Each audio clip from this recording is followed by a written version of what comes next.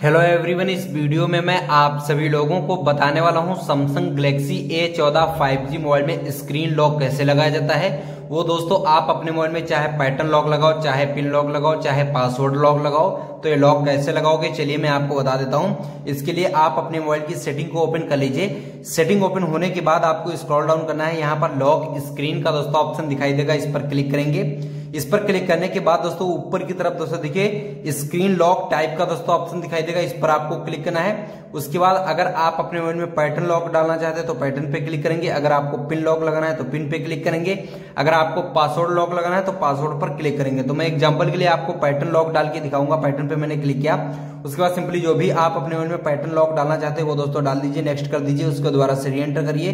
री एंटर करने के बाद कन्फर्म का ऑप्शन आएगा, इस पर आप क्लिक कर दीजिए। उसके बाद यहाँ से डन कर दीजिए। डन करने के बाद दोस्तों आपको इस प्रकार से बैग आ जाना है, यहाँ से कैंसिल करके बैग आ जाना है, बस आपके मोबाइल में स्क्रीन लॉक सक्सेसफुली दोस्तों लग चुका है।